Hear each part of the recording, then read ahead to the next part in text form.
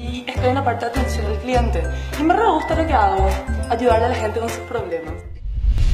La campaña No es tan cool está enfocada a promover la discusión sobre las precarias condiciones laborales de miles de jóvenes paraguayos que acceden a su primer empleo. Nosotros ideamos la campaña No es tan cool porque consideramos que eh, en, en los ambientes laborales que nosotros ya hemos participado, en vez de pagarnos lo que nosotros no deberían pagar, eh, pagarnos horas extras, eh, darnos permisos para, para, poder ir a estudiar, para poder rendir nuestros exámenes, eh, lo que hacen es tratar de maquillar un poco esa injusticia laboral en la que nosotros vivimos constantemente. A criterio del activista social, la juventud de nuestro país carece de oportunidades para desarrollar sus conocimientos académicos en el ámbito laboral. Yo creo que no existen tantas oportunidades de inserción laboral como nosotros en realidad necesitamos. Nosotros creemos que existen bonos para, para ir a estudiar al exterior o bonos para,